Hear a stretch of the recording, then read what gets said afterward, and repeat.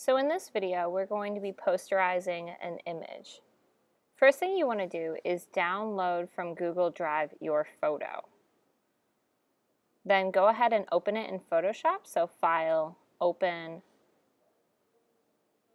Probably going to be in Downloads, so take a look there.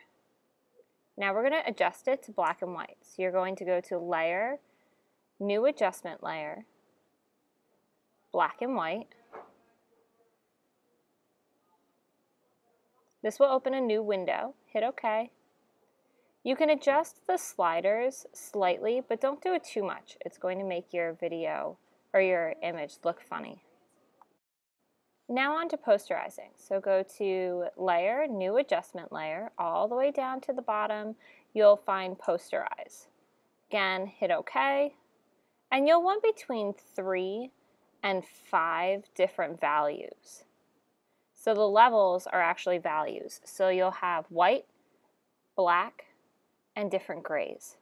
I'm going to go with five. I think it makes the eyes and the teeth actually look normal. Those are things you'll want to pay attention to. Next step is to colorize. So again, layer, new adjustment layer, but you're going to go to hue saturation. Hit OK and that'll bring up this window. Click Colorize and then choose a color that you want your painting to be. Now we have to crop it to 11 by 14. So these little windows up here will allow you to change the size. Make sure that you are focusing in on what is important, and that's your person. Don't forget to save so in your save, you are going to type in your last name and portrait. Instead of having it a Photoshop file, we're going to go down to Format and change it to a JPEG. Do this under the Format menu. And then we'll want to save it onto the desktop so it's easy to locate and easy to delete when we're done using it.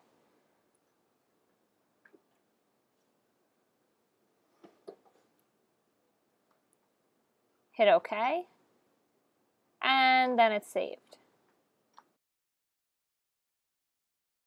Last thing you need to do is print. So go to File, all the way down to Print. You want to print to the printer 5225A. You're going to print one copy.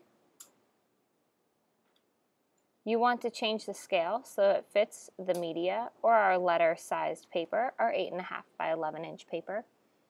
And then you will hit print. Sometimes a window comes up like this. Just hit OK. Check your settings to make sure that they are the same. And hit print. Hit OK. And then it should print to the printer in the computer lab.